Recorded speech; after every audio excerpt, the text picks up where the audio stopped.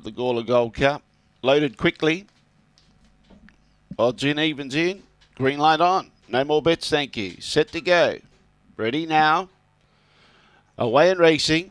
From the inside, Gangala Fury began okay. Sutton Nicky alongside of it. Bumping there was Signal Peak or out of action. There was Rockstar Lisa. In the meantime, Gangala Fury in front, but Signal Peak's only two lengths away. About three or four lengths away then to Sutton Nicky trying to recover after that check. Majestic Tail on its inside. Then behind those, we've got Spring Skipper. In front of it was Zipping Comet. Then we've got Zebo Bale out the back. Rockstar Lisa. But Gangala Fury still in front, holding on, and Gangala Fury wins. Second, Signal Peak. Third was Sutton Nicky. Fourth placing was Zipping Comet. Behind those, Spring Skipper, Zebo Bale, Majestic Tail, and Rockstar Lisa did complete the course. The time around 31.10.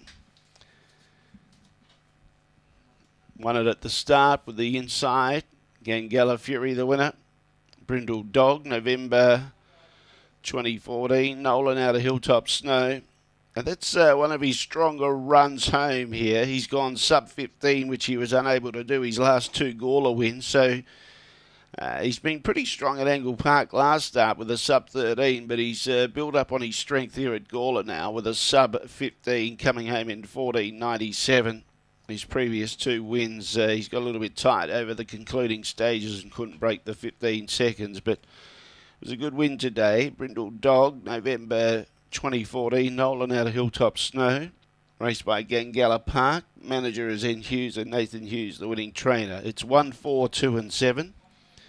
1 4 2 7, the judges' numbers. 31 10 was the time. 31 10. And let's have a look at the tote dividends. $4.10 and 130 for Gangala Fury. Signal Peak 120, Sutton Nicky $1.50 for the place, Quinella 1 and 4, 520, the exact 1 and 4, $8.10.